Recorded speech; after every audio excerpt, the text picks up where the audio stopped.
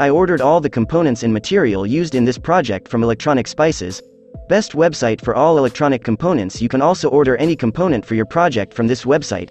Here you can find all the component with cheap rates and fast delivery for your order. I ordered Arduino Nano, ultrasonic sensor, blue LED and breadboard. Link of website and components is given in description.